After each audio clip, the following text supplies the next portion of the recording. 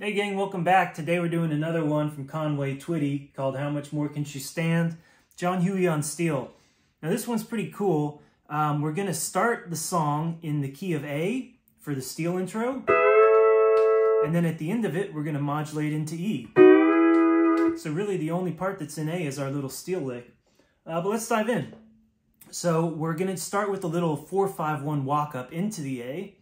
We're gonna be picking five and four at, at the, around the ninth fret and sliding into 10. For that D chord, the four. Then we're gonna do the same, pick and slide into 12. For the five chord E, and then we're gonna pick five and four and pedal in into that A.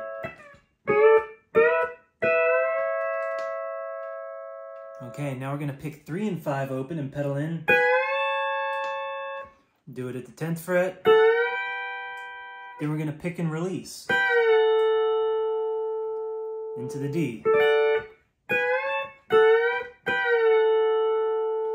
Now we're gonna go from the pedals up D to the pedals down D position, 5th fret.